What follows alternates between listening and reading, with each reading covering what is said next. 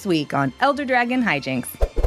I'm gonna equip a second Bloodforge battle axe to Gilded Goose. And then I want to move to combat. Goose is It's like an one- armored axe goose. in each Yeah, an axe in each one. Um, whoever's uh, editing this, please animate the Gilded Goose with, uh, With both, two, both yeah. axes. Thank you very much. Flappy axes. I will attack Olivia for four. Is it flying? It is flying. I want my hat. I do, and I don't think you want to trade your commander for it. Or do I? But I also get more axes that my goose can't possibly hold with its two wings. It's got two Cruise. footses and a Yeah, challenge grow another accepted. wing. An un- unruly amount of axes. Too many axes.